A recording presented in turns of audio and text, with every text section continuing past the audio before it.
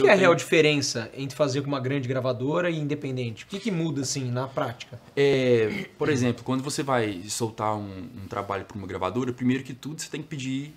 A, pedir não, você tem que é, fazer uma, uma reunião, apresentar o repertório e todo mundo precisa concordar com aquilo. Precisa ser tudo autorizado, né? Não, não, não é que é autorizado, é que se, se eu quero lançar a música X e eles querem a Y, Uhum. a gente sempre entra num consenso. A- Ao meu tempo na, de gravadora, que foi a Sony, foi ótimo, assim. Eu- nossa, eu só tenho agradecimento, que eu tava lá desde 2013.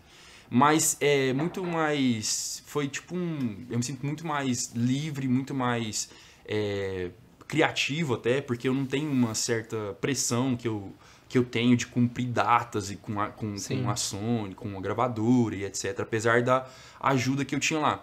A gravadora geralmente oferece um suporte de equipe muito bacana, né? Por exemplo, você vai fazer um lançamento, lá a gente tem com quem contar para falar com as plataformas digitais, para ajudar a gente numa estratégia de marketing e tudo mais. Hoje em dia não, hoje eu montei um time interno, que era o que eu sempre quis, montei um, um time grande assim de, de Você muitas tem o pessoas. seu próprio escritório hoje, né? Exato. É, aí eu, eu, eu sabia que para ser independente eu precisava desse back office assim bem estruturado, né? Sim. É um sonho que eu tinha desde muito tempo e agora eu consegui montar. A gente chama de house, né? Que é um risco muito grande, né, pro artista também, assim, é, ficar independente, mas não ter estrutura. É, Eu, não, aí... eu já vi muitos artistas é, partirem assim pra independência, mas sem estar totalmente preparado. E aí a carreira fica meio Uhum. Aí perdida, você sente uma coisa meio estranha, assim, né? É, a, a, a parte do, do comercial eu mantive lá com o Rodrigo Bissa, né? Todo mundo sabe que o Rodrigo Vocês têm tá uma história junto, desde né? sempre e ele é um cara ótimo para esse lado comercial. Ele é um cara que lida muito bem com, com os contratantes. Ele é um cara que